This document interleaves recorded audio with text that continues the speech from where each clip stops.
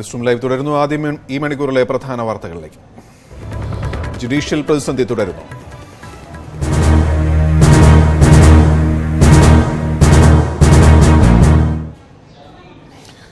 ബന്ധപ്പെട്ട് ഡൽഹിയിൽ ചർച്ചകൾ പുരോഗമിച്ചുകൊണ്ടിരിക്കുകയാണ്. സുപ്രീം കോടതി ചീഫ് ജസ്റ്റിസിനെതിരെ നാല് ജഡ്ജിമാർ നടത്തിയ തുടർന്നു പറച്ചിലിനുണ്ടായ പ്രതിസന്ധി. പരിഹരിക്കാൻ ശ്രമങ്ങൾ ഊർജിതമാണ്. കൂടിക്കാഴ്ചയ്ക്കായി പ്രധാനമന്ത്രിയുടെ principal secretary Nripendra Mishra chief ജസ്റ്റിസിന്റെ വസതിയിൽ എത്തി. എന്നാൽ കൂടിക്കാഴ്ചയ്ക്കായി അനുമതി ലഭിച്ചില്ല എന്നാണ് അറിയുന്നത്. ഉണ്ണി വിവരങ്ങളുമായി ഉണ്ണി. ഏറ്റവും സുപ്രധാനമായ വാർത്തയായിരുന്നു ഈ പ്രധാനമന്ത്രിയുടെ പ്രിൻസിപ്പൽ സെക്രട്ടറി ചീഫ് ജസ്റ്റിസിന്റെ വസതിയിൽ എത്തി എന്നുള്ളത്. അനുമതി ലഭിച്ചില്ല എന്നറിയുന്നു. അതുമായി ബന്ധപ്പെട്ട ഏറ്റവും പുതിയത്.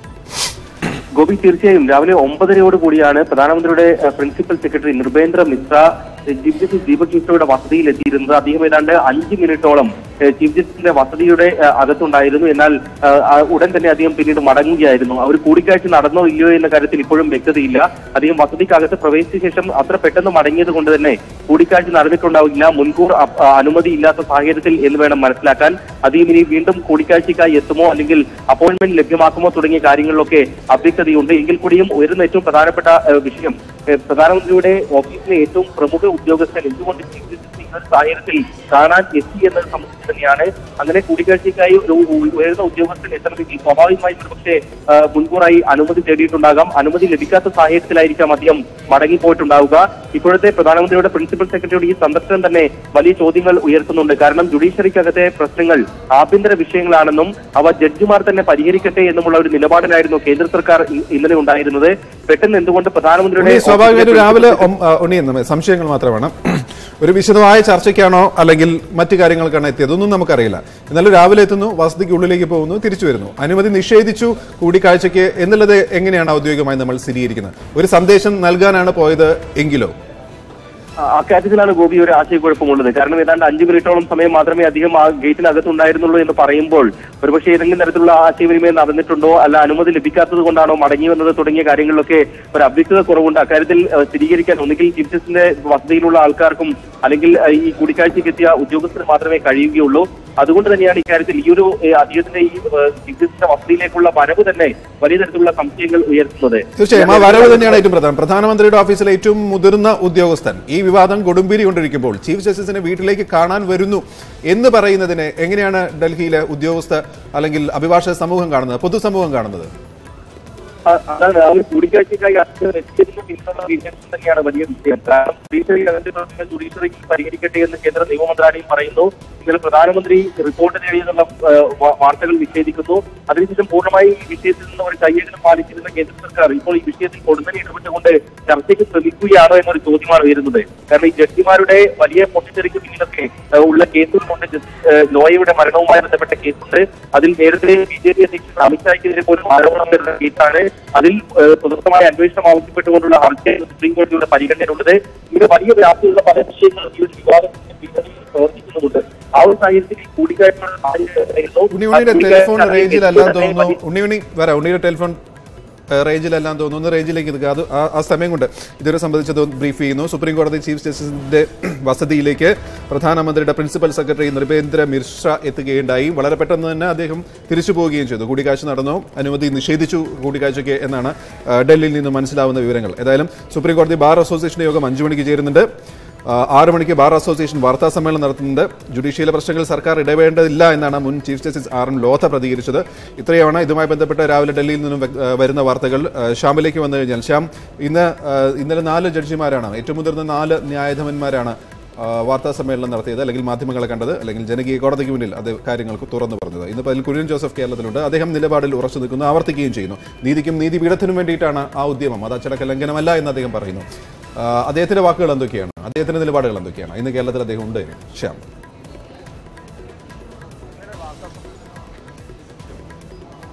ഗോപി ഇന്നലെ വാർത്താ സമ്മേളനത്തിന് ശേഷം ഇന്ന് രാവിലെ കുര്യൻ ജോസഫ് കൊച്ചി കൊച്ചിയിലുണ്ട്. കൊച്ചിയിൽ വിവിധ പരിപാടികളിൽ ഇദ്ദേഹം പങ്കെടുക്കുന്നുമുണ്ട്. കുര്യൻ ജോസഫ് പങ്കെടുക്കുന്നുമുണ്ട്. ഇക്കാര്യത്തിലാണ് കുര്യൻ ജോസഫിനോട് രാവിലെ മാധ്യമ മാധ്യമപ്രവർത്തകർ പ്രതികരണം ആരാഞ്ഞത്. അപ്പോഴാണ് അദ്ദേഹം സംബന്ധിച്ച നിലപാട് വളരെ കൃത്യമായി ഇന്നലെ എടുത്ത നിലപാടിൽ തന്നെ ഉറച്ചു നിൽക്കുകയും അത് സംബന്ധിച്ച നിലപാട് വ്യക്തമാക്കുകയും ചെയ്തത്. നീതിക്കും നിയമത്തിനും വേണ്ടി നില നിലകൊണ്ടു എന്നാണ് അദ്ദേഹം മാധ്യമങ്ങളോട് പറഞ്ഞത്. ഒപ്പം ഇടപെടൽ കൊണ്ട് അച്ചടക്ക ലംഘനം ഉണ്ടായിട്ടില്ല. ജനങ്ങൾക്ക് ജുഡീഷ്യറിയിലുള്ള വിശ്വാസം കൂട്ടാനാണ് താൻ ഇടപെട്ടത്. അല്ലെങ്കിൽ ഞങ്ങൾ നാലുപേരും ഇടപെട്ടത്. ഇതോടെ കാര്യങ്ങൾ കൂടുതൽ സുതാര്യമാകുമെന്നാണ് പ്രതീക്ഷ. അതായത് സുപ്രീം കോടതിയിലടക്കം കൂടുതൽ സുതാര്യത വരും ആക്ഷേപങ്ങളിൽ കൂടുതൽ വ്യക്തത വരും. ഒപ്പം ഈ- നിലവിലെ പ്രശ്നങ്ങൾക്ക് പരിഹാരമുണ്ടാകും എന്ന രീതിയിലാണ് അദ്ദേഹം പ്രതികരിക്കുകയും ചെയ്തത്. എന്തായാലും അദ്ദേഹം ഇന്ന് കൊച്ചിയിലെ വിവിധ പരിപാടികളിൽ പങ്കെടുക്കുന്നുണ്ട്. അദ്ദേഹം കൂടുതൽ രീതിയിലുള്ള പ്രതികരണങ്ങൾ നടത്തുമോ എന്നും മാധ്യമങ്ങൾ തേടുന്നുണ്ട്. അദ്ദേഹത്തിന്റെ കൂടുതൽ പ്രതികരണവും തേടുന്നുണ്ട്. എന്തായാലും ഇന്നലെ നാല് ജഡ്ജിമാർ വാർത്താ സമ്മേളനം നടത്തിയതിനു ശേഷം അദ്ദേഹം ഇന്ന് കൊച്ചിയിലെത്തുമ്പോൾ എന്തായാലും ഇന്നലത്തെ നിലപാടിൽ ഉറച്ചു നിൽക്കുന്ന അതേ നിലപാടിൽ ഉറച്ചു നിൽക്കുകയും ഒപ്പം കൂടുതൽ വിശദീകരണവുമാണ് ജസ്റ്റിസ് കുര്യൻ ജോസഫ് മാധ്യമങ്ങൾക്ക് മാധ്യമങ്ങൾക്ക് നൽകുന്നത്. ഗോപി. ശ്യാമിലേക്ക് തിരിച്ചു വരാം. ഉണ്ണി ഉണ്ണി തിരിച്ച് റേഞ്ചിലേക്ക് എത്തിയെന്ന് പ്രതീക്ഷിക്കുന്നു. വ്യക്തമാണെങ്കിൽ. അതായത് ഇന്നലെ സുപ്രീം കോടതി വിഷയത്തിൽ സർക്കാർ കൃത്യമായ നിലപാടെടുക്കുന്നു. മുൻ നിയമ വിദഗ്ധർ മുൻ സുപ്രീം കോടതി ചീഫ് ജസ്റ്റിസുമാർ നിയമ വിദഗ്ധർ എല്ലാം തന്നെ പറയുന്നു ഇത് ജുഡീഷ്യൽ വിഷയമാണ്. അത് ജുഡീഷ്യൽ തന്നെ പരിഹരിക്കേണ്ടതാണ്. പുറത്തിറങ്ങി സംസാരിച്ച നാല് ന്യായാധിപന്മാരുടെയും നിലപാട് തന്നെയാണ്. ഭരണകൂടം ഇതിൽ ഇടപെടരുത് എന്നുള്ളത് തന്നെയാണ്. ആ നിലപാടിൽ ഇന്ന് രാവിലെ വരെ സർക്കാർ നിൽക്കുന്നു. ആ സമയത്താണ് പ്രധാനമന്ത്രിയുടെ ഓഫീസിലെ ഏറ്റവും മുതിർന്ന ഉദ്യോഗസ്ഥൻ principal secretary Nripendra Mishra chief ജസ്റ്റിസിന്റെ വീട്ടിലേക്ക് എത്തുന്നത്. മറ്റൊരു വിഷയം ചീഫ് ജസ്റ്റിസ് ഇന്നലെ വൈകിട്ടും നിലപാട് വ്യക്തമാക്കിയിട്ടുള്ളത് എല്ലാ ജഡ്ജിമാർക്കും തുല്യ പരിഗണന എന്നാണ്. അതായത് ഈ നാല് മുതിർന്ന അഭിഭാഷകർ ഇത്തരത്തിൽ ജനങ്ങളോട് പറഞ്ഞിട്ടും ചീഫ് ജസ്റ്റിസ് നിലപാടിൽ മാറ്റമൊന്നും ഇതുവരെ വരുത്തിയിട്ടില്ല. ആ പശ്ചാത്തലത്തിൽ കേന്ദ്ര സർക്കാരിന്റെ ഭാഗമായ ഒരു മുതിർന്ന ഉദ്യോഗസ്ഥൻ കാണാൻ എത്തുക കൂടി ചെയ്യുന്നു ചീഫ് ജസ്റ്റിസിനെ. എങ്ങനെയാണ് വിലയിരുത്തേണ്ടത്? എങ്ങനെയാണ് ഡൽഹിയിലെ മുതിർന്ന അഭിഭാഷകരാണെങ്കിലും മുതിർന്ന പത്രപ്രവർത്തകരാണെങ്കിലും കാണുന്നത്? ഗോപി തീർച്ചയായും പ്രധാനമന്ത്രിയുടെ പ്രിൻസിപ്പൽ സെക്രട്ടറിയുടെ ഇപ്പോഴത്തെ ഈ സന്ദർശനം വലിയ സംശയങ്ങളും ചോദ്യങ്ങളും തന്നെ ഉയർത്തുന്നുണ്ട്. ഗോപി പറഞ്ഞ ഒരു പശ്ചാത്തലമുണ്ട്. ഇന്നലെ ഈ വിവാദത്തിന് ശേഷം കേന്ദ്ര സർക്കാർ പറഞ്ഞത് ജുഡീഷ്യറിക്കകത്തെ പ്രശ്നങ്ങളിൽ സർക്കാർ ഇടപെടേണ്ടതില്ല എന്നായിരുന്നു. അങ്ങനെയാണെങ്കിൽ പിന്നെ എന്തിനാണ് പ്രധാനമന്ത്രിയുടെ ഓഫീസിലെ മുതിർന്ന ഉദ്യോഗസ്ഥൻ തന്നെ ചീഫ് ജസ്റ്റിസിന്റെ വസതിയിൽ നേരിട്ടെത്തിയത് എന്ന ചോദ്യം തന്നെയാണ് ഉയരുന്നത്? അദ്ദേഹത്തിന് കൂടിക്കാഴ്ച നടത്താൻ കഴിഞ്ഞോ ഇല്ലയോ എന്ന കാര്യത്തിൽ വ്യക്തതയില്ല. കൂടിക്കാഴ്ചയ്ക്ക് അനുമതി ലഭിച്ചില്ല. അദ്ദേഹം അതുകൊണ്ട് തന്നെ അഞ്ച് മിനിറ്റിനകം മടങ്ങിപ്പോയി എന്ന ഔദ്യോഗിക വിശദീകരണമാണ് പുറത്തു വരുന്നത്. എങ്കിൽ കൂടിയും ഈ കൂടിക്കാഴ്ചയ്ക്കായി എത്തിയ സാഹചര്യം തന്നെയാണ് വലിയ സംശയങ്ങൾക്ക് ഇടയാക്കുന്നത്. ഈ കാരണം ഈ കേസുമായി ബന്ധപ്പെട്ട് ഈ സുപ്രീം കോടതിയിൽ കേസുകൾ വിഭജിച്ച് നൽകുന്നതിൽ ഒക്കെ അതിൽ സർക്കാരിന് അനുകൂലമായി ജുഡീഷ്യറി വഴങ്ങിക്കൊടുക്കുന്നു എന്ന ഒരു പരോക്ഷമായ ആരോപണമാണ് ഈ ജഡ്ജിമാർ ഉന്നയിച്ചിട്ടുള്ളത്. ആ ഒരു ഘട്ടത്തിൽ ഈ പ്രശ്നപരിഹാരത്തിന് കേന്ദ്ര സർക്കാർ തന്നെ ഇടപെടുകയാണെങ്കിൽ അത് തീർത്തും ശരിയായ ഒരു സന്ദേശമായിരിക്കില്ല നൽകുകയെന്ന് തന്നെയാണ് മുതിർന്ന അഭിഭാഷകരും മറ്റും പറയുന്നത്. മുൻ സുപ്രീം കോടതി ചീഫ് ജസ്റ്റിസായ ജസ്റ്റിസ് ആർ എം ലോധ തന്നെ വളരെ കൃത്യമായി പറഞ്ഞു വെച്ചിരിക്കുന്നത് ഈ വിഷയത്തിൽ ഒരു കാരണവശാലും കേന്ദ്ര സർക്കാർ ഇടപെടരുത്. ജഡ്ജിമാർ തമ്മിൽ ചർച്ച ചെയ്ത് പ്രശ്നങ്ങൾക്ക് പരിഹാരം കാണണം എന്നുള്ളതായിരുന്നു. അതിന്റെയാണ് കേന്ദ്ര സർക്കാരിന്റെ ഭാഗത്ത് നിന്ന് ഇടപെടൽ ഉണ്ടാകുന്നു എന്ന സംശയങ്ങൾ ഉയർത്തുന്ന തരത്തിലുള്ള ഒരു സന്ദർശനം നടക്കുന്നത്. അതിലൂടെ മനസ്സിലാക്കേണ്ടത് ഇക്കാര്യത്തിൽ കേന്ദ്ര സർക്കാർ സജീവമായി തന്നെ വിഷയങ്ങളിൽ ഇടപെടാനും അല്ലെങ്കിൽ അതിൽ പ്രശ്നപരിഹാരത്തിനും വേണ്ടി ശ്രമിക്ക ശ്രമിക്കുന്നു എന്ന് തന്നെയാണ്. ഗോപി. ഉണ്ണി നമുക്കിപ്പോൾ ലഭ്യമായ ദൃശ്യങ്ങൾ നോക്കുകയാണെങ്കിൽ എനിക്കും വ്യക്തതയില്ല ഞാൻ കാണുന്നേ ഉള്ളൂ. അദ്ദേഹം ഗേറ്റിന് പുറത്താണ്. അത് കഴിഞ്ഞിട്ട് കുറച്ച് കഴിഞ്ഞിട്ട് വണ്ടി തിരിച്ചു പോവുകയും ചെയ്യുന്നു. ഈ ഗേറ്റിനുള്ളിൽ കയറിയിരുന്നു വീട്ടിൽ കയറി അഞ്ച് മിനിറ്റ് എങ്കിൽ അഞ്ച് മിനിറ്റ് ചീഫ് ജസ്റ്റിസുമായി ചർച്ച നടത്തിയിരുന്നു എന്ന് സ്ഥിരീകരിക്കാമോ? ഇതിപ്പോൾ വാർത്താ ഏജൻസിയായ എ എൻ ഇ ആണ് ഈ ദൃശ്യങ്ങൾ പുറത്തുവിട്ടിട്ടുള്ളത്. അധികം വസതിയിൽ എത്തിയിരിക്കുന്നു എന്ന സൂചന നൽകുന്ന തരത്തിലായിരുന്നു അവരുടെ ആദ്യ റിപ്പോർട്ടുകൾ പുറത്തു വന്നിരിക്കുന്നത്. പിന്നീട് അതിനുശേഷമാണ് ഈ മടങ്ങിപ്പോകുന്ന ദൃശ്യങ്ങൾ പുറത്തു വന്നത്. അവിടെയുള്ള ആൾക്കാരുമായി സംസാരിക്കുമ്പോൾ മറ്റും ചെയ്തപ്പോൾ അഞ്ചു മിനിറ്റോളം അധികം ഇവിടെ ഉണ്ടായിരുന്നു എന്നാണ് മനസ്സിലാക്കാൻ കഴിയുന്നത്. അങ്ങനെയെങ്കിൽ ഒരുപക്ഷെ അദ്ദേഹത്തിന് വസതിക്കകത്ത് കയറി ചീഫ് ജസ്റ്റിസുമായി കൂടിക്കാഴ്ച നടത്താനുള്ള സാവകാശം ലഭിച്ചിട്ടുണ്ടോ എന്ന് സംശയമാണ്. അപ്പോയിന്റ്മെന്റുമായി ബന്ധപ്പെട്ട വിഷയങ്ങളെ തുറന്നായിരിക്കാം ഒരുപക്ഷെ അദ്ദേഹത്തിന് മടങ്ങിപ്പോകേണ്ടി വന്നത്. ഇനി അതെല്ലാം മാധ്യമപ്രവർത്തകരുടെ സാന്നിധ്യം ഉണ്ടായിരുന്നത് കൊണ്ട് ഈ ഒരു കൂടിക്കാഴ്ച ഇപ്പോൾ വേണ്ട എന്ന് നിശ്ചയിച്ച് മടങ്ങിയതാണോ എന്നൊന്നും വ്യക്തതയില്ല.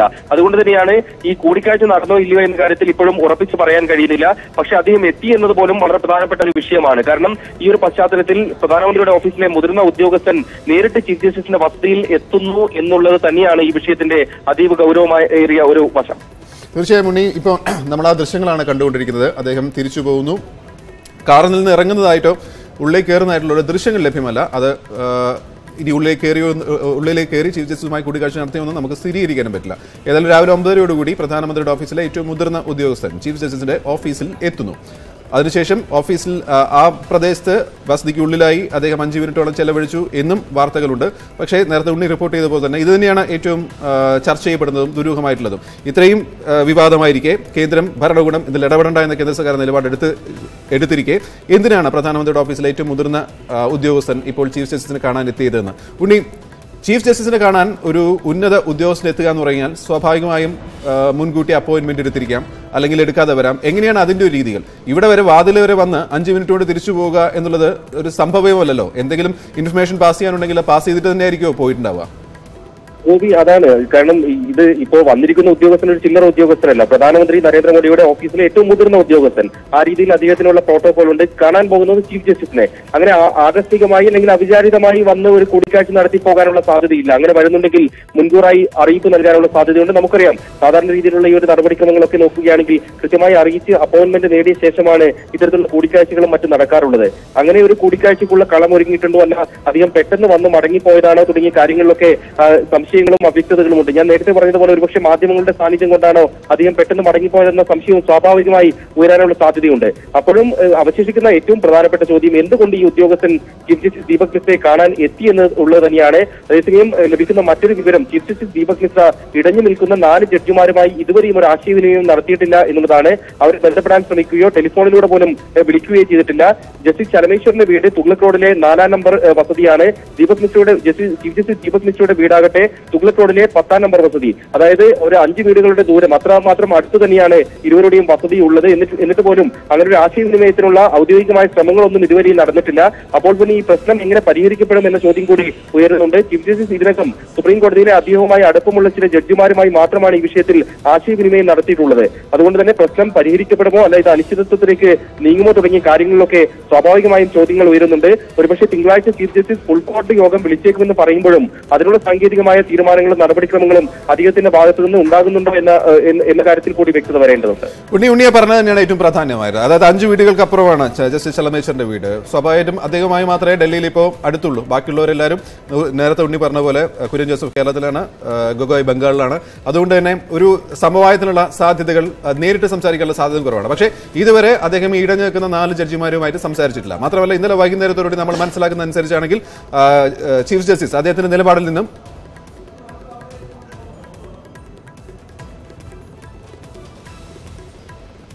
ഉണ്ണി ഞാൻ തിരിച്ചു വരാം അതിലേക്ക് ഇപ്പോൾ അടിയന്തരമായി ശ്രീ മുരളീധരന്റെ വാർത്താ സമ്മേളനത്തിലേക്ക്. പിന്നെ ഇപ്പോഴത്തെ ഒരു വിഷയം എന്ന് പറയുന്നത് യു ഡി എഫിലെ ഒരു ഘടകകക്ഷി പോയ ഒരു ഇതാണ്. ഇപ്പോൾ യു ഡി എഫിന്റെ ഒരു സംസ്കാരം എന്ന് പറയുന്നത് മുന്നണിയിൽ നിന്ന് പോയവരെ കുറിച്ചൊന്നും ഞങ്ങളൊന്നും മോശം പറയാറില്ല. അതൊരു നല്ല ഏർപ്പാടല്ല. ജനാധിപത്യത്തിൽ വരാനും പോകാനൊക്കെ സ്വാതന്ത്ര്യം. പക്ഷെ ഇവിടെ സംഭവിച്ചൊരു കാര്യം. ഒരു സത്യത്തിലൊരു ചതിയായി. ഒരു മുന്നണിയിൽ നിന്നുകൊണ്ട് എതിർ മുന്നണിയായിട്ട് കരാർ അപ്പോഴിവിടെ പറയുന്ന എന്താ? ഞങ്ങൾ പോകില്ല പ്ര- പ്രതിപക്ഷ നേതാവിന്റെ നേതൃത്വത്തിലുള്ള പടയൊരുക്കം നാലാം തീയതി കോഴിക്കോട് സമാപന സമ്മേളനത്തിൽ.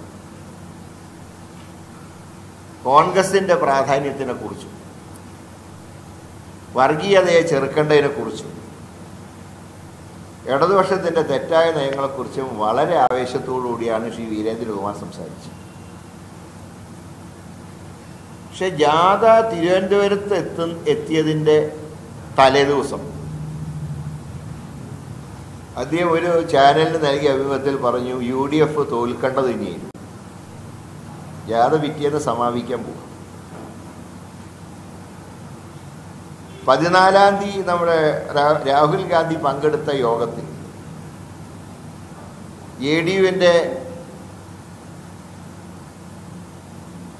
അതിപ്പോൾ പാർട്ടി ഇല്ല സത്യം പറഞ്ഞു എ ഡി യു എന്ന് പറഞ്ഞാൽ പാർട്ടി ഇല്ല നിതീഷ് കുമാറിന്റെ പാർട്ടിയിൽ നിന്ന് പോയതോടുകൂടി പാർട്ടി ഏതാണെന്ന് പറയാൻ പറ്റില്ല. അതുകൊണ്ട് തന്നെ ലോക്കൽ ബോഡീസിൽ വിപ്പ് നിലനിൽപ്പില്ല. ഞാൻ പറഞ്ഞത് അപ്പോൾ അതിന്റെ അഖിലേന്ത്യാ സെക്രട്ടറി ആയിരുന്ന വർഗീസ് ജോർജ് പറഞ്ഞത് we extend our full support to the newly elected Congress president Rahul Gandhi എന്നാണ് പറഞ്ഞത്. അപ്പോൾ അതിനുശേഷം എന്ത് പറ്റി? പതിനാലാം തീയതി പ്രഖ്യാപിച്ചിട്ട്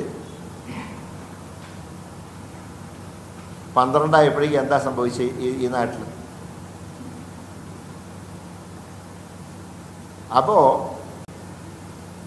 ഇതിന്റെ ഒരു ചരിത്രം നോക്കിയാൽ അത്ര വലിയ അത്ഭുതമൊന്നുമില്ല. കാരണം മുമ്പ്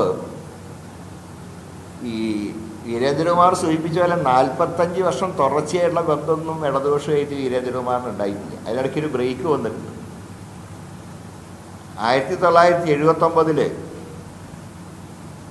അന്ന് E M S Namboodiripad Thiruvananthapuram എയർപോർട്ടിൽ ഒരു പ്രഖ്യാപനം നടത്തി. അന്ന് നിലവിലുണ്ടായത് പ്രതിപക്ഷ ഏകോപന സമിതി പിരിച്ചുവിടുക. അന്ന് അതിന്റെ കൺവീനർ ശ്രീ വീരേന്ദ്രകുമാർ.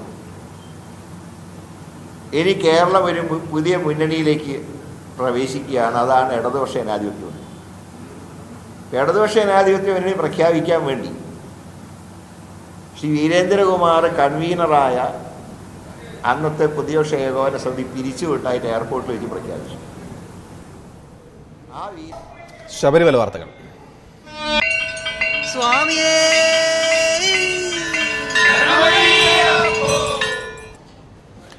ശബരിമലയിൽ മകരവിളക്കിന് മുന്നോടിയായി ദേവസ്വം ബോർഡ് പ്രസിഡന്റ് കെ പത്മകുമാറിന്റെ നേതൃത്വത്തിൽ ഉന്നതതല യോഗം ചേരുകയാണ്.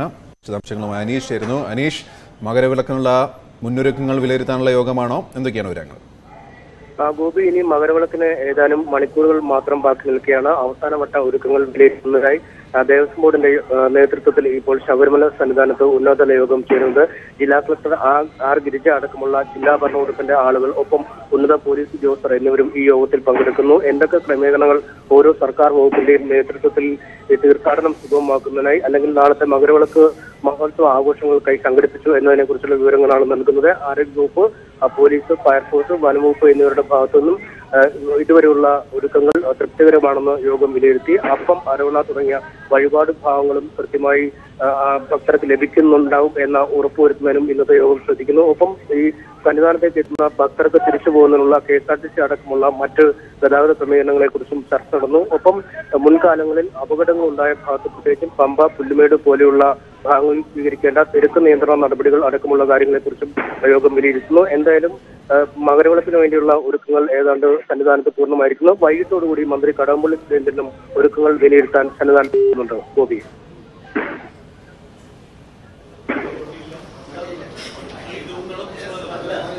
എന്താ സം- എന്താ സംഭവിച്ചാൽ അതിപ്പോ പിന്നെ ഡെഡ് ബോഡി കൊണ്ടുപോകുന്നതിന് വേണ്ടിയിട്ട് നമ്മൾ സന്നിധാനത്ത് അവലോകന യോഗം തുടരുകയാണ്. അനീഷ് റിപ്പോർട്ട് ചെയ്തതുപോലെ തന്നെ മകരവിളക്കിന്റെ മകരവിളക്കിന്റെ അവസാനവട്ട ഒരുക്കങ്ങൾ അവലോകനം ചെയ്യുന്നു.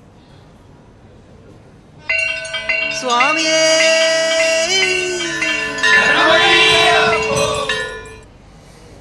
എം പി വീരേന്ദ്രകുമാറിന്റെ ഇടതുമുന്നണി പ്രവേശനത്തെ സ്വാഗതം ചെയ്ത മന്ത്രി മാത്യു ടി തോമസ്. ഇടതുമുന്നണിയെ ശക്തിപ്പെടുത്താൻ ഏത് വിട്ടുവീഴ്ചയ്ക്കും തയ്യാറാണ്. രണ്ടായിരത്തി ഒമ്പതിൽ താൻ പറഞ്ഞ രാഷ്ട്രീയ എം പി വീരേന്ദ്രകുമാറിന് ഇപ്പോൾ ശരിവെക്കേണ്ടി വന്നുവെന്നും മാത്യു ടി തോമസ് ന്യൂസ് എയ്റ്റീനോട് പറഞ്ഞു. എം പി വീരേന്ദ്രകുമാർ ഇടത് മുന്നണിയിലേക്ക് വരുന്നു. ജനതാദൾ രാഷ്ട്രീയത്തിൽ കേരള സംസ്ഥാനത്തിൽ എന്തു മാറ്റമായിരിക്കും ഈ വീരേന്ദ്രകുമാറിന്റെ വരവോടുകൂടി ഉണ്ടാകുക? അല്ല വ്യക്തിയുടെ പേരിൽ പറയാതെ ഒരു പാർട്ടിയുടെ പേരിൽ പറയണം? അതല്ലേ എന്റെ ഒരു ജനാധിപത്യ സമ്പ്രദായത്തിൽ നല്ലത്. ജെ ഡി യു എന്ന ഘടകം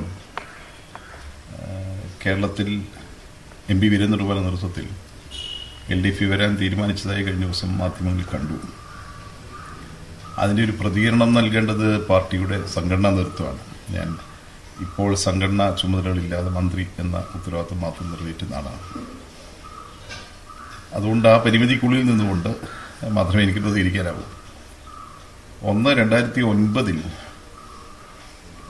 എൽ ഡി എഫ് വിട്ട് യു ഡി എഫിലേക്ക് പോകാൻ പാടില്ല എന്ന് ഞങ്ങൾ ചെറിയ ചില ആളുകൾ വലിയ ആളുകളല്ല ഞങ്ങൾ ചെറിയ ചില ആളുകൾ വലിയ ആളുകളുടെ മുമ്പിൽ പറഞ്ഞ ഒരു ന്യായവാദം ഇന്ന് സാധൂകരിക്കപ്പെട്ടു എന്നതിൽ ഒരു സന്തോഷം ഞങ്ങൾക്കുണ്ട് ജനാധിപത്യ സോഷ്യലിസ്റ്റുകളുടെ സ്വാഭാവിക ഇടം ഇടതുപക്ഷമാണ്. ഇടതുപക്ഷ ജനാധിപത്യ മുന്നണിയിലായിരിക്കണം ജനാധിപത്യ സോഷ്യലിസ്റ്റുകൾ. എന്നാൽ രാജ്യമെമ്പാടുമുള്ള ചിത്രം വളരെ രസകരമാണ്. പഴയ സോഷ്യലിസ്റ്റുകളിൽ ചില ആളുകൾ കോൺഗ്രസിനോടൊപ്പം കോൺഗ്രസിന്റെ പാർട്ടിക്കകത്ത് തന്നെ ചേർന്നിട്ടുണ്ട്. കോൺഗ്രസിനുമായി മുന്നണി ഉണ്ടാക്കിയിട്ടുണ്ട്. ചില ആളുകൾ ബി ജെ പി ചേർന്നിട്ടുണ്ട് ചില ആളുകൾ ബി ജെ പിയുമായി മുന്നണി ഉണ്ടാക്കിയിട്ടുണ്ട്. കുറച്ച് ആളുകൾ ഇടതുപക്ഷ ജനാധിപത്യ കക്ഷികളൊപ്പം നിൽക്കുന്നുണ്ട്. രാജ്യത്തെ ഇന്നത്തെ വർഗീയതയെ ചെറുക്കുന്നതിന് കോൺഗ്രസിനാവില്ല. ഇടതുപക്ഷ ജനാധിപത്യ ഐക്യത്തിലൂടെ മാത്രമേ വളർന്നു വരുന്ന വർഗീയതയും അതോടൊപ്പം തന്നെ ജനവിരുദ്ധമായ സാമ്പത്തിക നയങ്ങൾക്കും ബദലായ ഒരു സമീപനവും നിലപാടെടുക്കാൻ കഴിയും. അല്ല ഈ വീരേന്ദ്രകുമാറിനെ സംബന്ധിച്ചിടത്തോളം അദ്ദേഹം അല്ലെങ്കിൽ ജെ ഡി യുവിനെ സംബന്ധിച്ചിടത്തോളം എല്ലാ മത്സരങ്ങളിലും തോറ്റു. അതുപോലെ കഴിഞ്ഞ എല്ലാ തെരഞ്ഞെടുപ്പുകളിലും വലിയൊരു ഫലം കണ്ടെത്താൻ അദ്ദേഹത്തിന് കഴിഞ്ഞില്ല. അപ്പോൾ അത്തരത്തിലൊരു പാർട്ടിയുടെ വരവ് എന്തെങ്കിലും ഒരു ശക്തി ഇടതുമുന്നണിക്ക് പകരും അത് ഈ രാഷ്ട്രീയത്തിൽ ജയിച്ച എം എൽ എമാരുടെയും എം പിമാരുടെയും കണക്ക് മാത്രമല്ലല്ലോ. ഇത് ഈ നമ്മളെല്ലാ രാഷ്ട്രീയ നീക്കങ്ങളിൽ നിന്ന് വിലയിരുത്തുന്നത് എം എൽ എമാരുടെ എണ്ണം വെച്ചാവരുത്. ഇവിടെ അടിസ്ഥാനപരമായ ഒരു രാഷ്ട്രീയമുണ്ട്. ആ രാഷ്ട്രീയമാണ് ഞങ്ങൾ രണ്ടായിരത്തി ഒൻപതിലും പറഞ്ഞത്. രണ്ടായിരത്തി ഒമ്പതിലെ ചിത്രം വ്യത്യസ്തമാണ്. അതായത് രാജ്യമെമ്പാടും കോൺഗ്രസിനും ബി ജെ പിക്കും എതിരെ ഒരു മുന്നണി ഉണ്ടാക്കാൻ വേണ്ടിയുള്ള ശ്രമം ജെ ഡി എസ് നടത്തിക്കൊണ്ടിരിക്കുമ്പോഴാണ് ജെ ഡി എസിൽ നിന്ന് വിട്ടുപോയി അവർ കോൺഗ്രസിനോടൊപ്പം മുന്നണി ഉണ്ടാക്കി പ്രവർത്തിച്ചത്. അതുകൊണ്ട് ഈ ആളുകളുടെ എണ്ണവും എം എൽ എമാരുടെ എണ്ണവും മാത്രമല്ല വിശ്വസിക്കുന്ന ആദർശത്തിന് വലിയൊരു ഇടമുണ്ട് ഒരു ശക്തിയുണ്ട്. അതുകൊണ്ടാണ് ഞങ്ങൾ രണ്ടായിരത്തി ഒമ്പതിൽ ഞങ്ങളുടെ പാർട്ടി പുലരുമ്പോൾ വലിയ കഷ്ണം ഞങ്ങളോടൊപ്പം നിന്നു എന്നൊന്നും ഞങ്ങൾ അവകാശപ്പെട്ടിട്ടില്ല. ബഹുഭൂരിപക്ഷം ആളുകളും ഞങ്ങളെ പാർട്ടി വിട്ട് യു ഡി എഫിലേക്ക് പോയി അന്നത്തെ ജെ ഡി എസിൽ. പിന്നീടാണ് ഞങ്ങൾ പടിപടിയായിട്ട് പിടിച്ചു കയറി അതിനെ വളർത്തിക്കൊണ്ടുവന്നത് പക്ഷെ അതിന് ഞങ്ങളുടെ മൂലധനം എന്ന് പറയുന്നത് രാഷ്ട്രീയ ആദർശങ്ങൾ തന്നെ മുറുകെ പിടിച്ചു എന്നുള്ളതാണ്.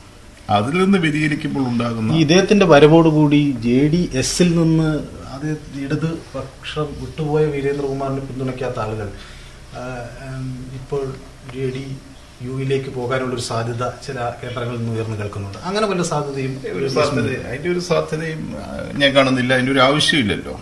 ഇവിടെ ഒരു ജെ ഡി എസ് ആയി നിന്ന ഒരു പാർട്ടി ജെ ഡി എസ് ചില ആളുകൾ യു ഡി എഫിൽ പോയി അന്ന് സോഷ്യലിസ്റ്റ് ജനത ഡെമോക്രാറ്റിക് പാർട്ടി എന്നൊരു പാർട്ടി രൂപീകരിച്ച് യു ഡി എഫിൽ ചേർന്നു.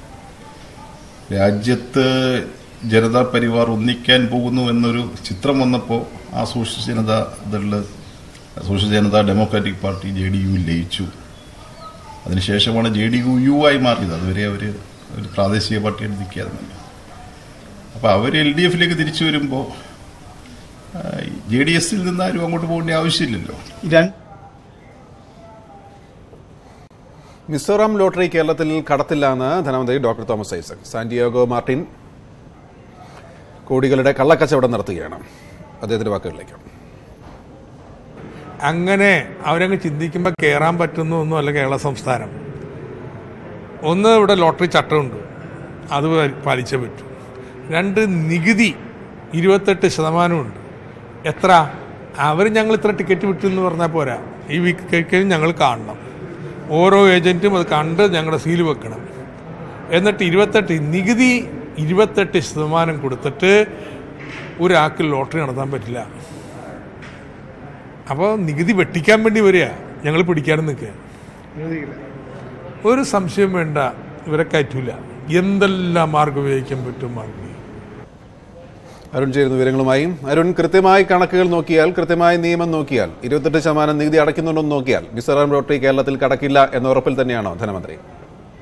അങ്ങനെ നികുതി അടച്ച് മിസോറാം ലോട്ടറിക്ക് ഇവിടെ പ്രവർത്തിക്കാൻ കഴിയില്ലെന്നാണ് മന്ത്രി പറയുന്നത്. കാരണം അവർ അത്തരത്തിലൊരു നേരാവഴിയുടെ പ്രവർത്തനം സാന്റിയാഗോ മാർട്ടിൻ വിഭാഗത്ത് ഉണ്ടാകില്ല അതുകൊണ്ട് തന്നെ നികുതി വെട്ടിക്കാനുള്ള ശ്രമമാണ് സാന്റിയാഗോ മാർട്ടിനും അത് മിസോറാം സർക്കാർ വഴി സാന്റിയാഗോ മാർട്ടിനും ശ്രമിക്കുന്നത്. അത് നടക്കില്ലെന്ന് തന്നെയാണ് മന്ത്രി പറയുന്നത്. ഒരു കാരണവശാലും കേരളത്തിൽ മിസോറാം ലോട്ടറി വിൽക്കാൻ അനുവദിക്കില്ല. നേരത്തെ സംസ്ഥാനത്ത് മിസോറാം ലോട്ടറി വിൽക്കില്ലെന്ന വിജ്ഞാപനം ഉണ്ടായിരുന്നു മിസോറാം സർക്കാരിന്റെ കഴിഞ്ഞ ആഴ്ച അത് പിൻവലിച്ചുകൊണ്ടാണ് മിസോറാം സർക്കാർ ഹൈക്കോടതിയിൽ സത്യവാങ്മൂലം നൽകിയത്. ഈ സാഹചര്യത്തിലാണ് മന്ത്രിയുടെ പ്രതികരണം ഒരു കാരണവശാലും അന്യസംസ്ഥാന ലോട്ടറി സംസ്ഥാനത്ത് വിൽക്കാൻ കഴിയുന്ന നിലപാടിൽ സംസ്ഥാനം ഉറച്ചു നിൽക്കുമെന്ന് തന്നെയാണ് മന്ത്രി പറയുന്നത്. വിവരണാണ് വിവരം നൽകിയത്.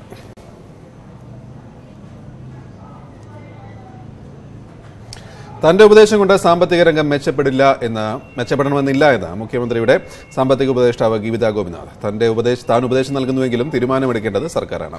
ധനമന്ത്രിയുമായ അഭിപ്രായ ഭിന്നത ഇല്ല എന്നും സാമ്പത്തിക രംഗത്തെ ഇപ്പോഴത്തെ ജി എസ് ടി മൂലമുണ്ടായ പ്രതിസന്ധികൾ ആറുമാസത്തിനകം പരിഹരിക്കപ്പെടുമെന്നും അത്, അവർ പറഞ്ഞു ധനക്കമ്മി നാല് ശതമാനത്തിന് മുകളിലായത് ആശങ്കാജനകമെന്നാണ് മുഖ്യമന്ത്രിയുടെ സാമ്പത്തിക ഉപദേഷ്ടാവ് ഗീതാ ഗോപിനാഥ് അഭിപ്രായപ്പെടുന്നത് ഇപ്പോഴത്തെ സാമ്പത്തിക പ്രതിസന്ധി ജി എസ് സി നടപ്പാക്കിയത് മൂലമാണെന്ന പ്രചരണം അടിസ്ഥാനരഹിതമാണെന്ന് ലോക കേരള സഭയിൽ പങ്കെടുക്കാനെത്തിയ ഗീതാ ഗോപിനാഥ് പറഞ്ഞു Now, so this number is 2016-17, uh, and this came before GST, so it's, it's problematic. You can't blame it on GST. Uh, but there's certainly been an, a growth in expenditures that need to be taken care of. G S ടിയിലൂടെ സംസ്ഥാനത്തിന് കൂടുതൽ വരുമാനമുണ്ടാകുമെന്നത് സത്യമാണ് എന്നാൽ നികുതി പിരിവ് തകിടം മറിഞ്ഞു ചിലവുകൾ വർദ്ധിച്ചു വരുന്നത് ആശങ്കാജനകമാണ് I think more and more than the resource mobilization, probably on the expenditure side, they will have to make some uh, some difficult decisions about uh, what needs to be more streamlined. സാമ്പത്തിക ഉപദേഷ്ടാവ് എന്ന നിലയിൽ താൻ ഉപദേശങ്ങൾ മാത്രമാണ് നൽകുന്നത് തീരുമാനം സർക്കാരിന്റെതാണ് താൻ ഉപദേശിക്കുന്നു എന്നതുകൊണ്ട് സാമ്പത്തിക രംഗം മെച്ചപ്പെടണമെന്നില്ല ധനമന്ത്രിയുമായുള്ളത് നല്ല ബന്ധം മാത്രമെന്നും ഗീതാ ഗോപിനാഥ് പറഞ്ഞു So, so you you do know that I only give advice. I make no decisions. So, so I you know you know it's not one of those. Uh, it's what which is that uh, you know I I will give advice, and what whether it's taken or not is a separate point. But uh, but yeah, so that I don't think you can you can uh, think of this in terms of just because I'm giving advice that things are going to go fine. ബജറ്റിനെ കുറിച്ചുള്ള ചോദ്യങ്ങൾക്ക് മൗനം പാലിച്ച ഗീതാ ഗോപിനാഥ് ആറു മാസത്തിനുള്ളിൽ സംസ്ഥാനത്തിന്റെ സാമ്പത്തിക രംഗം മെച്ചപ്പെടുമെന്നും അഭിപ്രായപ്പെട്ടു.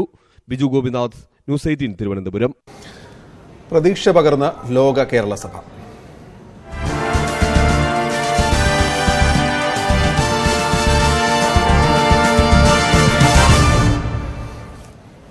പ്രഥമ ലോക കേരള സഭ ഇന്ന് സമാപിക്കും. സെഷനുകൾ നടന്നുകൊണ്ടിരിക്കുകയാണ്. ബിജു ഗോപിനാഥ് ചേരുന്നു. ബിജു ഇന്നലെ വളരെ കൃത്യമായ സംവാദമാണ് നടന്നത്. പ്രവാസികൾ അവരുടെ ആശങ്കകൾ പങ്കുവച്ചു പുതിയ ആശയങ്ങൾ പങ്കുവച്ചു സർക്കാരിനെ നേരിട്ട് അറിയിക്കേണ്ട വിവിധ മേഖലകളിലുള്ള കാര്യങ്ങൾ അറിയിച്ചു. ഇന്നിപ്പോൾ അതിന് മുഖ്യമന്ത്രി മറുപടി നൽകുകയും ചെയ്തിരുന്നു. ഈ രണ്ട് ദിവസ സമ്മേളനം ഈ ഒന്നര ദിവസം പിന്നിടുമ്പോൾ എത്രമാത്രം അർത്ഥവത്താണെന്നാണ് വിലയിരുത്തൽ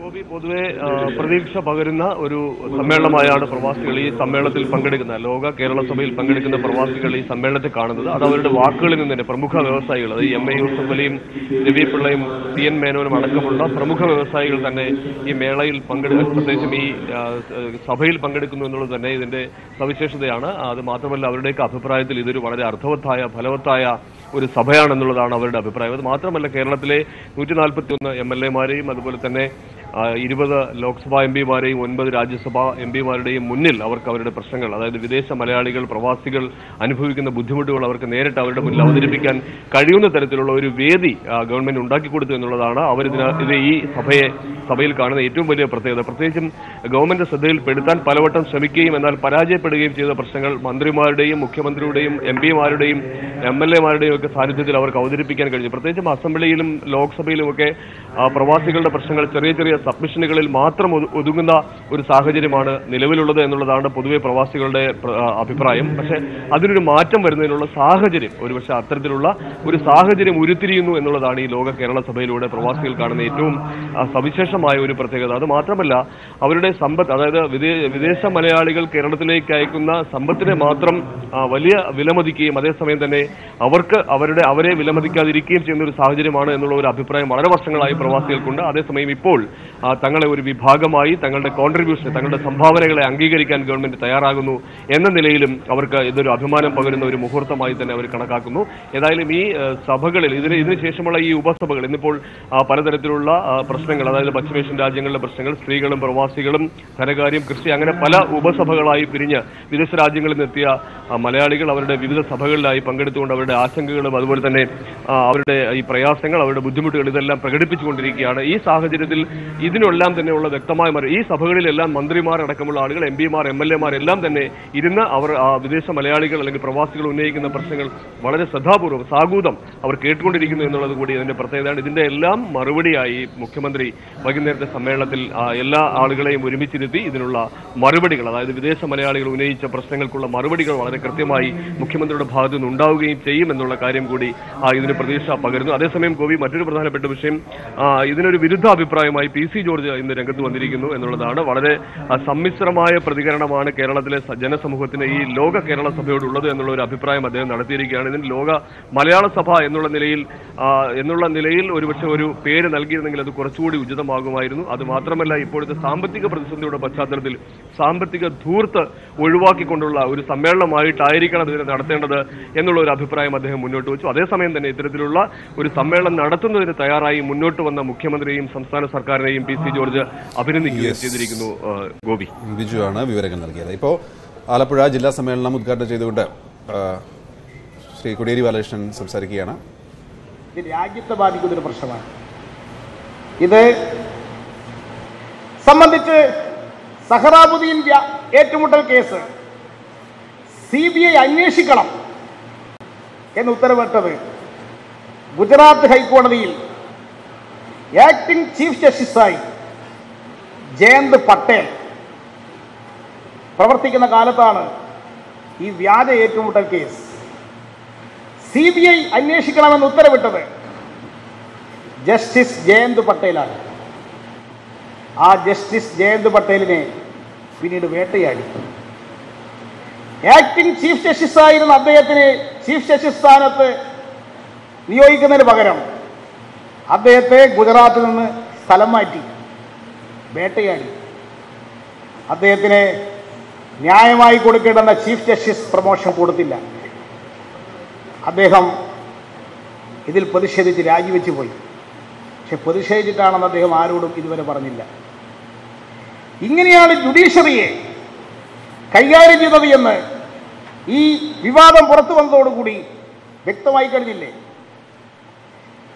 ജുഡീഷ്യറിയിൽ ഒരു വിഭാഗത്തെ ഉപയോഗിച്ചുകൊണ്ട് എക്സിക്യൂട്ടീവ് ഭരണകൂടം തങ്ങളുടെ സ്ഥാപിത താല്പര്യം നടപ്പാക്കാൻ ജുഡീഷ്യറിയെ ഉപയോഗിക്കുന്നു. അതിൽ ചില ആളുകളെ ഉപയോഗിക്കുന്നു എന്നുള്ള ഗൗരവതരമായ പ്രശ്നമാണ് ഇതിൽ കൂടി പുറത്തു വന്നിരിക്കുന്നത്. ഈ സാഹചര്യത്തിൽ ജുഡീഷ്യറിയുടെ വിശ്വസ്തത വീണ്ടെടുക്കണം. അതിനെ ജനാധിപത്യത്തിന്റെ മൂന്ന് തൂളുകളായ എക്സിക്യൂട്ടീവ് ജുഡീഷ്യറി ലെജിസ്ലേച്ചർ ഈ മൂന്ന് സംവിധാനങ്ങളും. സന്ദർഭത്തിനനുസരിച്ച് ഉയർന്ന് നമ്മുടെ രാജ്യത്തിന്റെ ജനാധിപത്യ പ്രക്രിയ സംരക്ഷിക്കാനുള്ള ഇടപെടൽ നടത്തണം. ഒരു സമഗ്രമായ അന്വേഷണം. ഇപ്പോൾ നാല് ജഡ്ജിമാർ പുറത്തു കൊണ്ടുവന്നിട്ടുള്ള സംഭവങ്ങളുടെ അടിസ്ഥാനത്തിൽ നടത്തിക്കൊണ്ട് ജുഡീഷ്യറിയുടെ വിശ്വസ്തത വീണ്ടെടുത്ത് ജനാധിപത്യം സംരക്ഷിക്കണം. ബി ജെ പി അധികാരത്തിൽ വന്നതിന് ശേഷം ജനാധിപത്യത്തിനും മതനിരപേക്ഷതക്കും സ്വതന്ത്ര പരമാധികാരത്തിനും ബഹുസ്വരതക്കും വെല്ലുവിളി ഉയർന്നിരിക്കുന്നു എന്നുള്ളതാണ് ഈ സംഭവങ്ങളെല്ലാം വ്യക്തമാക്കിയിട്ടുള്ളത്. ഈ പശ്ചാത്തലത്തിൽ ബി ജെ പി ഗവൺമെന്റിന്റെ നിലപാടുകൾക്കെതിരെ വർഗീയവൽക്കരണത്തിനെതിരെ ഉദാരവൽക്കരണ സാമ്പത്തിക നയങ്ങൾക്കെതിരെ ശക്തമായ ബഹുജന പ്രക്ഷോഭണം രാജ്യവ്യാപകമായി നടത്തിക്കൊണ്ടുവരണം. നാല് ന്യായാധിപന്മാർ ഉന്നയിച്ച വിഷയങ്ങളിൽ സമഗ്രമായ അന്വേഷണം വേണമെന്ന് ശ്രീ കുടിയേരി ബാലകൃഷ്ണൻ. മറ്റു വാർത്തകളിലേക്ക് കൂടി.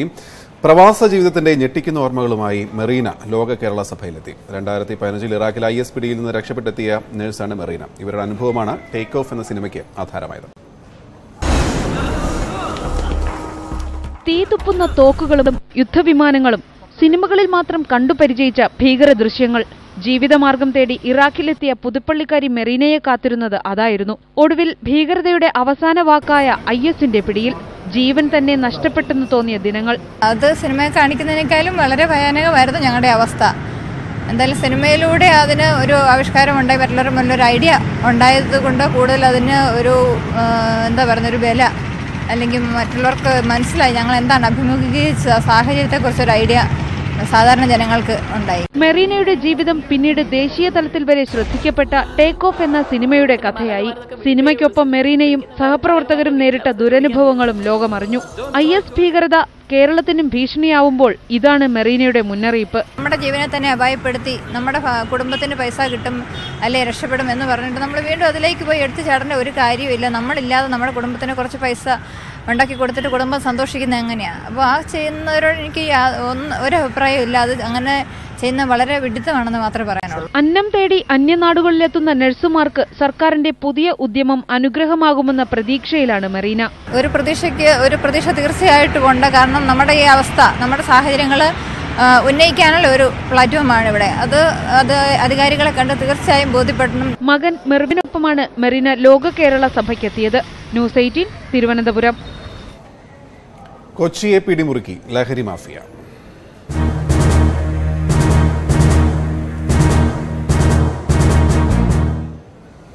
രാജ്യത്തെ മയക്കുമരുന്ന് മയക്കുമരുന്ന് ലോബിയുടെ ഹബ്ബായി ആണോ എന്ന് സംശയം. കാരണം അത്രയ്ക്കും കേസുകളാണ് സമീപകാലങ്ങളിൽ ഉണ്ടാവുന്നത്. ഒരു അന്വേഷണം.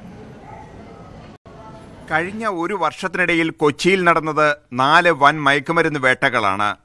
രണ്ടായിരത്തി പതിനേഴ് ഒക്ടോബറിൽ ഇരുപത്തിയേഴ് കോടി രൂപ വില വരുന്ന എഫ്രിഡിൻ എന്ന മയക്കുമരുന്നുമായി ഫിലിപ്പിനോ സ്വദേശി പിടിയിലായി. തൊട്ടടുത്ത മാസം അഞ്ചു കോടി രൂപ വില വരുന്ന കൊക്കൈൻ ഗുളിക രൂപത്തിലാക്കി വിഴുങ്ങിയ ശേഷം നെടുമ്പാശ്ശേരിയിൽ വന്നെത്തിയ വെനസ്വേല സ്വദേശിയും നാർക്കോട്ടിക് കൺട്രോൾ വിഭാഗത്തിന്റെ വലയിൽ വീണു. ഇക്കഴിഞ്ഞ പുതുവത്സര ദിനത്തിൽ തന്നെ ഫിലിപ്പൈൻ സ്വദേശിയായ യുവതി ഇരുപത്തിയഞ്ച് കോടി രൂപയുടെ കൊക്കൈനുമായി പിടിയിലായി. പതിനഞ്ച് കോടി രൂപയുടെ കൊക്കൈനുമായി പരഗ്വൈ സ്വദേശി പിടിയിലായതും അധിക നാൾ മുൻപല്ല. ഗോവയിൽ നിന്ന് മയക്കുമരുന്ന് കടത്താൻ ശ്രമിച്ച ഒരു മലയാള സിനിമാ താരത്തിനെതിരെയും കേസെടുത്തിട്ടുണ്ട്. ഗോവയിൽ നിന്ന് തന്നെ കൊച്ചിയിലേക്ക് എം ഡി എം എം എന്ന മയക്കുമരുന്ന് എത്തിക്കുന്ന സംഘത്തിലെ പ്രധാനിയെ എക്സൈസ് സ്പെഷ്യൽ സ്ക്വാഡും പിടികൂടിയിരുന്നു. എന്തുകൊണ്ടാണ് കൊച്ചിയിലേക്ക് ഇത്രയധികം മയക്കുമരുന്ന് എത്തുന്നത്? നാർക്കോട്ടിക് കൺട്രോൾ വിഭാഗം പറയുന്ന വിശദീകരണങ്ങൾ ഇതാണ്. അന്താരാഷ്ട്ര വിമാനത്താവളത്തിന്റെ സാന്നിധ്യം. വലിയ പരിശോധനകളില്ലാത്ത കടൽമാർഗവും റോഡ് മാർഗവും മയക്കുമരുന്ന് മറ്റ് സ്ഥലങ്ങളിലേക്ക് കൊണ്ടുപോകുവാനുള്ള സൗകര്യം കൊച്ചിയിൽ യുവാക്കൾക്കിടയിൽ വർദ്ധിച്ചു വരുന്ന മയക്കുമരുന്ന് ഉപയോഗം. ഇക്കാരണങ്ങൾ കൊണ്ട് തന്നെ കൊച്ചി മയക്കുമരുന്നിന്റെ വലിയ ഹബ്ബായി മാറുകയാണ്. എന്നാൽ ഇവിടെ എത്തുന്ന മയക്കുമരുന്ന് എവിടേക്ക് പോകുന്നു? ഇതിന് പിന്നിലുള്ള കണ്ണികൾ ആരെല്ലാം?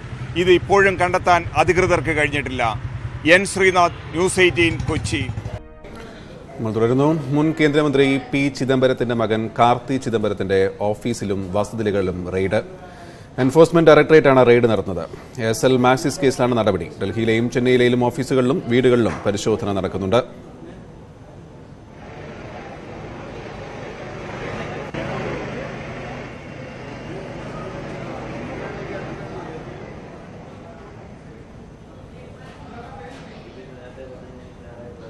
കർണാടകയിലെ ഹാസനിൽ ബസ് മറിഞ്ഞ എട്ട് പേർ മരിച്ചു. ഹാസനിൽ നിന്ന് ധർമ്മപുരിയിലേക്ക് പോയ ബസ്സാണ് K S Karnataka R T സിയുടെ ബസ്സാണ് മറിഞ്ഞത്. പുലർച്ചെ മൂന്നരയോടെയായിരുന്നു അപകടം. അഞ്ചു പേർ സംഭവസ്ഥലത്തും മൂന്ന് പേർ ആശുപത്രിയിലേക്ക് കൊണ്ടുപോകും വഴിയാണ് മരിച്ചത്. മരിച്ചവരിൽ നാലു പേരെ തിരിച്ചറിഞ്ഞു.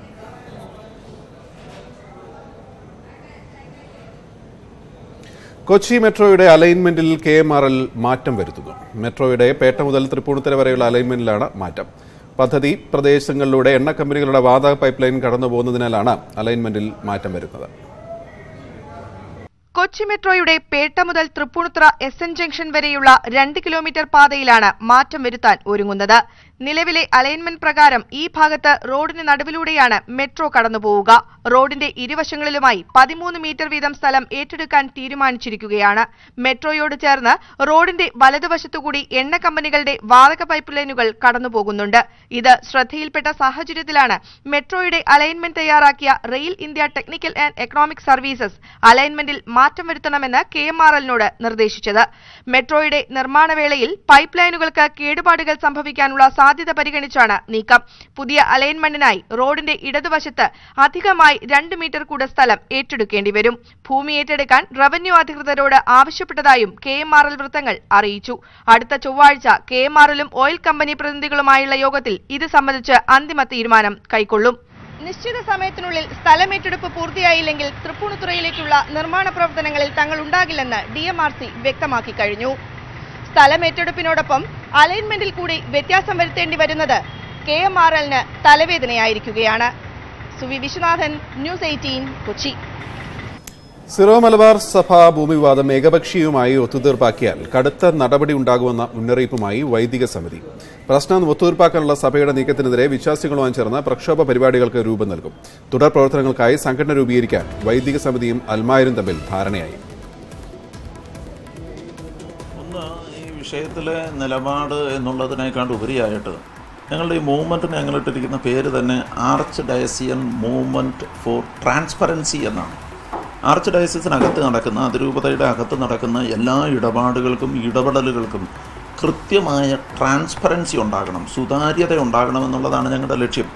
അപ്പോൾ ഈ വിഷയത്തിനകത്തും ഞങ്ങളുടെ പ്രധാനപ്പെട്ട ആവശ്യം അതാണ് സുതാര്യത ഉണ്ടാകണം. ഈ വിഷയത്തിന്റെ തുടക്കം മുതൽ ഉട ഒടുക്കം വരെ എന്ത് സംഭവിച്ചു എങ്ങനെ സംഭവിച്ചു എങ്ങനെ പണം നഷ്ടമുണ്ടായി ആര് മൂലം നഷ്ടമുണ്ടായി ഏത് തരത്തിലാണ് ഈ നഷ്ടങ്ങളെ സംഭവിക്കാൻ ഇടയായത് അതിന് ഉത്തരവാദികളായവരാരൊക്കെയാണ് ഈ കാര്യങ്ങളെല്ലാം സഭയിലെ വിശ്വാസികൾക്ക് അറിയാൻ ആഗ്രഹമുണ്ട്. സഭയിലെ വിശ്വാസി എന്നുള്ള നിലയ്ക്ക് ഈ അന്യാധീനപ്പെട്ടു പോയ ഭൂമി നഷ്ടപ്പെട്ടു പോയ പണം നഷ്ടപ്പെട്ടു പോയ പ്രതാപം ഇത് മുഴുവൻ ഒരു വിശ്വാസിയുടെ കൂടിയാണ് നഷ്ടപ്പെട്ടു പോയത്. ഇത് ഏതാനും ആളുകൾക്ക് മാത്രം നഷ്ടപ്പെട്ടു പോയതല്ല. വിശ്വാസിയുടെയും കൂടിയാണ്. ചുമ്മാ ഉറങ്ങിക്കിടന്നിരുന്നൊരു വിശ്വാസി വളരെ പെട്ടെന്ന് വലിയ കടക്കാരനായി മാറിയതാണ്. ആ തരത്തിൽ അതിരൂപതയ്ക്കുണ്ടായ വലിയ നഷ്ടം. ആ നഷ്ടത്തിന്റെ കൃത്യമായ മാർഗം കൃത്യമായത് എങ്ങനെ നഷ്ടമുണ്ടായി എന്നുള്ളതിനെക്കുറിച്ചുള്ള വ്യക്തമായ രൂപം ഉണ്ടാകണമെന്നുള്ളതായിരുന്നു ഇന്നലെ കൂടിയ വലിയ സമിതിയിലെ പൊതുവികാരം. ഡാനി പോൾ ചേരുന്നു. ഡാനി ഭൂമിവാദം ഏകപക്ഷീയമായി ഒത്തുതീർപ്പാക്കാൻ അനുവദിക്കില്ല എന്ന നിലപാടിൽ തന്നെയാണ് വാൽമായരും വൈദിക സമിതിയും. എന്തൊക്കെ തരത്തിലാണ് അവർ ഇതിനോട് പ്രതിരോധിക്കാൻ തിരുത്താൻ തിരുത്തൽ ഇടപെടലുകൾ നടത്താൻ ഉദ്ദേശിക്കുന്നത്? ഗോപി ഇപ്പോൾ നമ്മളോട് സംസാരിച്ചത് ഷൈഖ് ആന്റണിയാണ് ഇത് ആർച്ച് ഡയസിൻ മൂവ്മെന്റ് ഫോർ ട്രാൻസ്പെറൻസി ഇന്നലെ ചേർന്ന വൈദികരുടെ പിന്തുണയോടുകൂടി തന്നെ ഇന്നലെ ചേർന്ന് രൂപീകരിച്ച സംഘടനയുടെ ഒരു പ്രതിനിധിയാണ് അദ്ദേഹം. തീർച്ചയായും ഇന്നലത്തെ യോഗത്തിലെ ഒരു വികാരങ്ങൾ തന്നെയാണ് അദ്ദേഹം പങ്കുവയ്ക്കുന്നത്. കാരണം ഇത് സഭയിൽ ഒരു ശുദ്ധീകര ശുദ്ധികലശം ആവശ്യമായ രീതിയിലേക്ക് കാര്യങ്ങൾ ചെന്നിരിക്കുന്നു. നിലപാടില്ലാത്ത നേതൃത്വം ഇപ്പോൾ ഉള്ളത് എന്നൊരു വിലയിരുത്തലാണ് ഇന്നലെ ചേർന്നൊരു സമിതി. കാര്യങ്ങൾ തോന്നിയ പോലെയാണ് ഇപ്പോൾ നടക്കുന്നത്. പക്ഷേ ഇതിനൊരു ചിട്ടവട്ടങ്ങൾ വേണം. ഈ രീതിയിൽ മുന്നോട്ട് പോകാൻ കഴിയില്ല. ഇവരെല്ലാവരും തന്നെ പ്രതീക്ഷിക്കുന്നത് ഇന്ന് സമ- സമ- സമാപിക്കുന്ന സിനഡിൽ മെത്രാൻ സമിതി സമർപ്പിക്കുമെന്ന് കരുതപ്പെടുന്ന ഇടക്കാല റിപ്പോർട്ടാണ്. ഇന്ന് സിനഡിന് മുൻപാകെ പ്രത്യേകിച്ച് സിഡി യോഗിച്ച സമിതി ആയതുകൊണ്ട് സിനഡിന് മുൻപാകെ തന്നെ ഈ ഒരു ഇടക്കാല റിപ്പോർട്ട് സമർപ്പിക്കുമെന്ന ഒരു പ്രതീക്ഷയിൽ തന്നെയാണ് എല്ലാവരും തന്നെയുള്ളത്. ഈ സമിതിയുടെ റിപ്പോർട്ടിന് അനുബന്ധമായി തന്നെ ഈ രൂപീകരിച്ച സംഘടനയുടെ തുടർ പ്രവർത്തനങ്ങളും വിഭാവനം ചെയ്തത് പൂർണമായും കർദിനാളിനെ പിന്തുണ പ്രഖ്യാപിച്ചുകൊണ്ട് ഈ വിവാദങ്ങളെ തഴഞ്ഞുകൊണ്ട് മുന്നോട്ട് പോകുവാനുള്ള ഒരു നീക്കമാണെങ്കിൽ വിശ്വാസികൾ ബഹുഭൂരിപക്ഷവും സംഘടിച്ചിരിക്കുന്നു എന്നൊരു സന്ദേശമാണ് സിനഡിന് മുൻപാകെ ഈ സംഘടനയുടെ രൂപീകരണത്തെ കൊണ്ട് ഉദ്ദേശിച്ചുകൊണ്ട് നൽകുന്നത്. ആ അത് സിനിഡിനെ കൃത്യമായി കമ്മ്യൂണിക്കേറ്റ് ചെയ്യാൻ പറ്റുമെന്ന് തന്നെ ഇവർ വിശ്വസിക്കുന്നു. അതുകൊണ്ട് ഇത് സമിതിക്ക് ഇത്തരം കാര്യങ്ങൾ ഫാക്ട് ഫൈൻഡിങ് കണ്ടെത്താൻ കഴിഞ്ഞില്ല എങ്കിൽ വൈദിക സമിതിയുടെ റിപ്പോർട്ട് പുറത്തുവിടണമെന്നാണ് ഇവർ ആവശ്യപ്പെടുന്നത്. അതോടൊപ്പം തന്നെ സിനറ്റ് സിനഡിന് സമർപ്പിക്കുന്ന ഉപസമിതിയുടെ റിപ്പോർട്ടും പുറത്തു വരണം. കാരണം ഇത് വിവരാവകാശത്തിന്റെ കാലത്ത് ഇത് ജനങ്ങൾക്ക് അറിയാനുള്ള ഒരു അവകാശമുണ്ട്. വിശ്വാസികളുടെ പണമാണ്. അതുകൊണ്ട് ഇത് ഇത് പുറത്തു വരണമെന്ന് തന്നെ ഇവർ ആവശ്യപ്പെടുന്നു. എന്ന് തന്നെയായാലും ഇന്ന് ഇന്ന് സിനഡിനെ സംബന്ധിച്ചിടത്തോളം സമാപന ദിവസമാണ്. സിറോ മലബാർ സഭയെ സംബന്ധിച്ചിടത്തോളം ഇന്ന് നിർണായക ഒരു ദിവസം തന്നെയാണ്. കാരണം ഈ ഭൂമി വിവാദത്തിൽ ഇവർ സ്വീകരിക്കുന്ന നടപടി എന്ത് എന്നത് സംബന്ധിച്ചാണ് എല്ലാ വിഭാഗം വിശ്വാസികളും ഉറ്റുനോക്കുന്നത്. അതുകൊണ്ട് ഇന്ന് സിനഡിന്റെ സമാപനത്തിൽ ഈ റിപ്പോർട്ടിന്റെ ഏതെങ്കിലും രീതിയിലുള്ള ഒരു പ്രതിഫലനങ്ങൾ ഉണ്ടാകുമെന്നുള്ളൊരു പ്രതീക്ഷയിൽ തന്നെയാണ് സിനഡിനെയും കാണുന്നത്. ഗോപി. ഡാനിയാണ് വിവരങ്ങൾ നൽകിയത്. ഇപ്പോൾ ഡൽഹിയിൽ നിന്ന് ലഭിക്കുന്ന പുതിയ വിവരങ്ങൾ അനുസരിച്ച് നാല് ജഡ്ജിമാർ ചീഫ് ജസ്റ്റിസിനെതിരെയായി പറഞ്ഞ തുറന്നു പറച്ചിലിനെ തുടർന്നായ പ്രശ്നങ്ങൾ ഉടൻ തീരുമെന്നാണ് പ്രതീക്ഷയെന്ന് attorney general K K Venugopal പറഞ്ഞിരിക്കുന്നു. വിവരങ്ങളുമായി ഉണ്ണി ചേരുന്നു. ഉണ്ണി ഉടൻ തീരുമെന്ന് അദ്ദേഹത്തിന്റെ പ്രതീക്ഷയുടെ അടിസ്ഥാനം എന്താണ്? എന്തൊക്കെയാണ് അദ്ദേഹം പറഞ്ഞത്? അധികം ആകെ രണ്ട് വരികൾ മാത്രമേ പറഞ്ഞിട്ടുള്ളൂ. എല്ലാ പ്രശ്നങ്ങളും നന്നായി പരിഹരിക്കാൻ കഴിയും. ഒരു ശുഭ പര്യവസാനം ഇതിനൊക്കെ ഉണ്ടാകുമെന്ന പ്രതീക്ഷ മാത്രമാണ് അദ്ദേഹം പങ്കുവച്ചത്. കെ. കെ. വേണുഗോപാൽ അദ്ദേഹത്തിന്റെ നീതിഭാഗിലെ വസതിയിൽ നിന്നും ഇപ്പോൾ ഇറങ്ങിയിട്ടുണ്ട്. ഇറങ്ങുന്നതിന് മുമ്പ് മാധ്യമപ്രവർത്തകരോടാണ് അദ്ദേഹം ഈ അദ്ദേഹത്തിന്റെ ഈ പ്രതികരണം പ്രതീക്ഷ പങ്കുവച്ചിരിക്കുന്നത്. അദ്ദേഹം ചില കേസുകളുടെ കൂടിയാലോചനകൾക്കായി പുറത്തു പോയിരിക്കുന്നു എന്നാണ് പറഞ്ഞിട്ടുള്ളത്. നിലവിലിപ്പോൾ ജസ്റ്റിസ് ചലമേശ്വർ അദ്ദേഹത്തിന്റെ വസതിയിൽ നിന്നും പുറത്തിറങ്ങിയിട്ടുണ്ട്. ഏതെങ്കിലും തരത്തിലുള്ള കൂടിയാലോചനകളോ പ്രശ്ന പരിഹാരത്തിനുള്ള ചർച്ചകളോ നടക്കുന്നുണ്ടോ എന്ന് ഇതുവരെയും സ്ഥിരീകരിക്കാൻ കഴിഞ്ഞിട്ടില്ല. അനൗപചാരികമായ ചർച്ചകൾക്കുള്ള സാധ്യതകൾ തള്ളിക്കളയാനും കഴിയില്ല. ഏതായാലും ചീഫ് ജസ്റ്റിസ് നേരിട്ട് നാല് ജഡ്ജിമാരെയും ഈ വിയോജിച്ച് നിൽക്കുന്ന നാല് ജഡ്ജിമാരെയും വിളിച്ച് സംസാരിച്ചതായുള്ള സൂചനകളില്ല. അതിനിടെ പ്രധാനമന്ത്രിയുടെ principal secretary Nripendra Mishra chief ജസ്റ്റിസിന്റെ വസതിയിൽ എത്തിയ ശേഷം കൂടിക്കാഴ്ച നടത്താതെ മടങ്ങി എന്നുള്ള വിവരവും പുറത്തു വരുന്നുണ്ട്. ഇത്തരത്തിൽ പല തലങ്ങളിലായി ഈ വിഷയത്തിലുള്ള ചർച്ചകൾ നടക്കുന്നുണ്ട്. അപ്പോഴും കേന്ദ്ര സർക്കാർ ഈ വിഷയത്തിൽ ഇടപെട്ടുകൊണ്ട് ജഡ്ജിമാരുടെ പ്രശ്നങ്ങൾ പരിഹരിക്കാൻ ജുഡീഷ്യറിയിലെ ഈ വിഷയങ്ങളിൽ ഇടപെടുന്നുണ്ടോ എന്ന സംശയവും ചോദ്യങ്ങളും തന്നെയാണ് ഉയരുന്നത് ഗോപി. പ്രശ്നങ്ങൾ സാവധാനം പറഞ്ഞ തുറന്നു പറച്ചിലെന്നുണ്ടായ പ്രശ്നങ്ങൾ ഉടൻ തീരുമെന്ന് അറ്റോർണി ജനറൽ വേണുഗോപാൽ പറയുന്നു. ഏതായാലും ചർച്ചകൾ സജീവമായി തന്നെ പുരോഗമിച്ചുകൊണ്ടിരിക്കുകയാണ് പ്രശ്നപരിഹാരത്തിനായി. ഇപ്പോൾ ശബരിമലയിൽ മകരവിളക്കിന് അവസാനവട്ട ഒരുക്കങ്ങൾ വിലയിരുത്താൻ വേണ്ടി പമ്പയിൽ ചേർന്ന ഉന്നതതല യോഗത്തിന് ശേഷം ദേവസ്വം ബോർഡ് അധ്യക്ഷൻ സംസാരിക്കുന്നു. അതുപോലെ തന്നെ ഞങ്ങളിപ്പോൾ അവലോകന യോഗത്തിൽ കണ്ടൊരു കാര്യം. ഇപ്രാവശ്യം പ്രസാദത്തിന്റെ കാര്യത്തിൽ അതിന്റെ ക്വാളിറ്റിയുടെ കാര്യത്തിൽ വളരെ മെച്ചപ്പെട്ട നില ഉണ്ടായിട്ടുണ്ടെന്നാണ് നമുക്ക് മനസ്സിലാക്കാൻ കഴിഞ്ഞത്. അത് നമ്മുടെ കൂടെ അനുഭവത്തിലും അങ്ങനെ തന്നെയാണല്ലോ. അപ്പോൾ ആ നിലയ്ക്ക് പ്രസാദത്തിന്റെ കാര്യത്തിലായാലും ശരി കൂട്ടിയേർന്നുള്ള പ്രവർത്തനങ്ങളുടെ കാര്യത്തിലായാലും ശരി ദർശനം നൽകുന്ന ദർശനത്തിന് വേണ്ടിയിട്ട് അയ്യപ്പ ഭക്തന്മാർക്ക് സൗകര്യം ഒരുക്കി കൊടുക്കുന്ന കാര്യത്തിലായാലും ശരി എല്ലാ കാര്യത്തിലും എല്ലാ കാലത്തെ അപേക്ഷിച്ച് നമുക്ക് മുമ്പോട്ട് പോകാൻ കഴിഞ്ഞിട്ടുണ്ട്. ഇന്നും നാളെയും കൂടി അത് നല്ല നിലയ്ക്ക് നടത്തി പൂർത്തീകരിക്കണമെന്നാണ് ആഗ്രഹിക്കുന്നത്. അപ്പോൾ ഒരു തർക്കങ്ങളും ഉണ്ടാവാതെ ഒരു നല്ല മണ്ഡലം മകരവിളക്ക് കാലം പൂർത്തീകരിക്കാൻ തിരുവിതാംകൂർ ദേവസ്വം ബോർഡിനെ സഹായിച്ച ബഹുമാനപ്പെട്ട മുഖ്യമന്ത്രിയൊക്കെ ആണെങ്കിൽ സ്ഥിരം എല്ലാ ദിവസവും രാവിലെ വിളിക്കുക. അതുപോലെ ദേവസ്വം വകുപ്പ് മന്ത്രി മറ്റ് മന്ത്രിമാർ. അതിനേക്കാൾ ഉപരി ഇവിടുത്തെ ജില്ലാ ഭരണകൂടം ജില്ലാ പ്രത്യേകിച്ച് എടുത്തു പറയുന്നതാണ് ജില്ലാ കളക്ടർ. വളരെ ശുഷ്കാന്തിയോടുകൂടി ഈ ശബരിമല കാര്യത്തിൽ ഏറ്റവും നന്നായി ഇടപെട്ട ഇതുവരെയുള്ള നമ്മുടെ ജില്ലാ കളക്ടർമാരിൽ ഏറ്റവും നന്നായി ഇടപെടുകയും എല്ലാ മേഖലയിലും ഓടിയെത്താൻ ശ്രമിച്ചിട്ടുള്ള ആളാണ് നമ്മുടെ ജില്ലാ കളക്ടർ. അപ്പം ആ നിലയ്ക്ക് മുഴുവൻ ആളുകളോടും പ്രത്യേകിച്ച് മാധ്യമപ്രവർത്തകരോടും അങ്ങേയറ്റത്തെ നന്ദി തിരുവിതാംകൂർ ദേവസ്വം ബോർഡിന് വേണ്ടി അറിയിക്കുകയാണ്. ഈ ഇപ്പോൾ മകരവിളക്കിന് മാത്രം എഴുപത്തിരണ്ട് കോടി അമ്പത്തഞ്ച് ലക്ഷം രൂപയാണ് നമുക്ക് വരവ്. ഉണ്ടായിട്ടുള്ളത്. ഏകദേശം ഇരുപത് കോടിയോളം രൂപ കഴിഞ്ഞ വർഷത്തേക്കാൾ കൂടുതലാണ്. അപ്പോൾ വരവിന്റെ കാര്യം നമ്മുടെ വഴിപാടും അതല്ലാതെയുള്ള വരവിന്റെ കാര്യത്തിലായാലും ശരി. അയ്യപ്പ ഭക്തന്മാർ വന്ന് ദർശനം നടത്തിയതിന്റെ കാര്യത്തിലായാലും ശരി. എല്ലാ കാര്യത്തിലും ഈ വർഷം നമുക്ക് മുമ്പോട്ട് പോകാൻ കഴിഞ്ഞു എന്നുള്ളത് എടുത്തു പറയത്തക്കതാണ്. ഇത് പറയുമ്പോൾ കഴിഞ്ഞ രണ്ട് മൂന്ന് വർഷക്കാലം നമ്മുടെ വരവ് വളരെ പിന്നോട്ടായിരുന്നു. അത് മാറി ഇപ്രാവശ്യം നല്ല നിലയ്ക്കുള്ള വര വരുമാനത്തിന്റെ കാര്യത്തിൽ നല്ല ഇൻക്രീസ് ഉണ്ടായിട്ടുണ്ട് എന്നുള്ളതുകൂടി അറിയിക്കാൻ ഞാൻ ഈ അവസരം വിനിയോഗിക്കുക മറ്റു വാർത്തകളിലേക്ക്.